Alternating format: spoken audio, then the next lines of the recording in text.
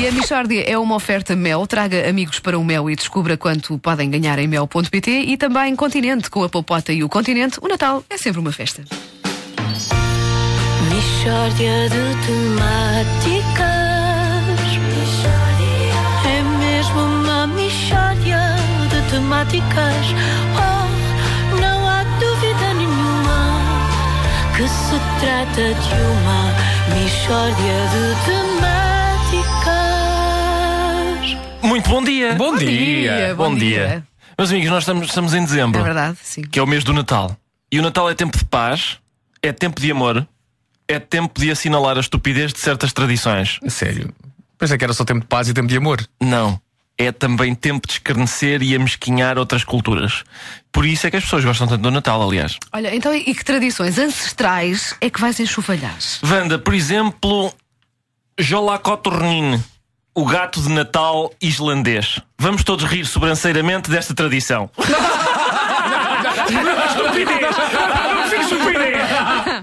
Bom, Que estúpida esta tradição. Consiste em quê? bravo. Vasco, bom timing. Ora bem, Esqueci um bocadinho, Jolacotornin. Eu desculpa. sei, eu sei. Não, não faz mal. A gargalhada distraiu-me. Exato. Jolacotornin é um gato islandês que é velhaco. Hum? Se, as, se as crianças islandesas não se portarem bem, Jolacotornin, o gato velhaco, come-as. Como é que Jola Cotornino, o gato velhaco, sabe se as crianças se portaram bem ou não? Porque na Islândia, as crianças que se portaram bem receberam roupas novas como prémio. E portanto, Jolacotornin, o gato velhaco, anda à procura das crianças que têm roupas velhas porque são as que se portaram mal. E se uma criança se tiver eh, portado bem, mas vestir um- umas roupas velhas, sei lá, só para fazer assim uns trabalhos de pintura, por exemplo, como é que é? Não, Jolacotornin, o gato velhaco, está-se borrifando para eventualidades dessas e come a criança na mesma. E se uma criança velhaca tiver guardado roupa nova, ainda com as etiquetas do ano anterior, do ano em que se portou bem, e a vestir no ano seguinte em que se portou mal, mas assim enganando Jola Cotornino, o gato velhaco? Em Hã? princípio, Jolacotornin, o gato velhaco, não se deixa enganar porque é um felino velhaco que está atento às novas tendências e consegue distinguir a coleção outono-inverno do ano passado da deste ano.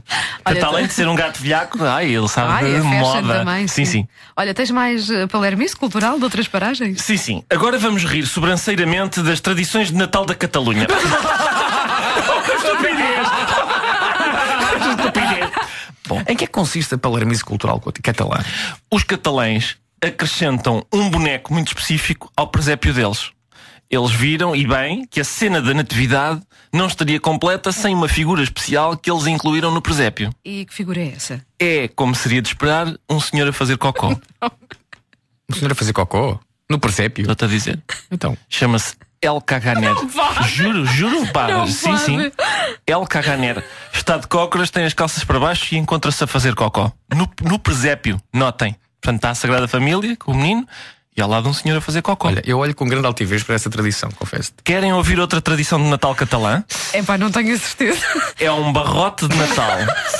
Eles têm um, bar- um tronco de madeira ao qual eles pintam uma cara, acrescentam umas perninhas e tapam com um cobertor, notem, para ele não ter frio. O tronco, pronto, um barrote. Na véspera de Natal, colocam o barrote de Natal na lareira de Natal e começam a bater-lhe com paus Para quê? para que ele faça cocó. Juro, é pá, juro, vão à internet ver, pesquisem Pooping Log, Pooping Log, chama-se Cagatió, chama-se assim. Juro. Agora digam-me se vale a pena estes intercâmbios culturais. Vocês sentem-se mais ricos? Enriquecemos de alguma maneira? O que o catano é que enriquecemos? Se tudo redunda em cocó, como é que se enriquece? Nós já tínhamos falado de xixi nesta manhã e faltava de Pá, facto. se é a manhã mais escatológica de sempre. Meu Deus, isto são tradições verdadeiras, hein? Começámos o programa a falar de xixi e agora cocó, muito bom. Pá, mas se alguém. Eu, eu, epá, eu quero ver uma fotografia de como é que se chama? Da El, sim. El Não, El Caganer tem, tens vários. Opa, Aliás, quero, não sei se sabem. quero. O senhor de cócoras com as calças para baixo. Atenção, já agora uma nota. está de cocócoras. O senhor, Opa, o El se, alguém, Caganer. se alguém conhecer esta tradição e tiver uma figura destas, pá, que fotografia nos mostra. Atenção, há El Caganer, Sim. por exemplo, do Cristiano Ronaldo.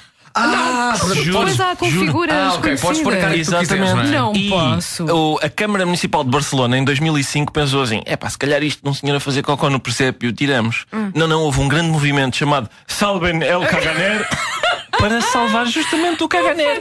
Posso. Agora digam-me se vale a pena nós, nós, nós fazermos estes intercâmbios. Nunca tinha ouvido falar Gaspar nisso. deu ouro, Exato. Belchior deu mirra e, E um ok. senhor desconhecido contribui com o que tem. Foi só lá fazer aquilo que tinha que ser feito, não é? A Michórdia de Temáticas é uma oferta Mel. Traga amigos para o Mel e descubra quando podem ganhar em mel.pt.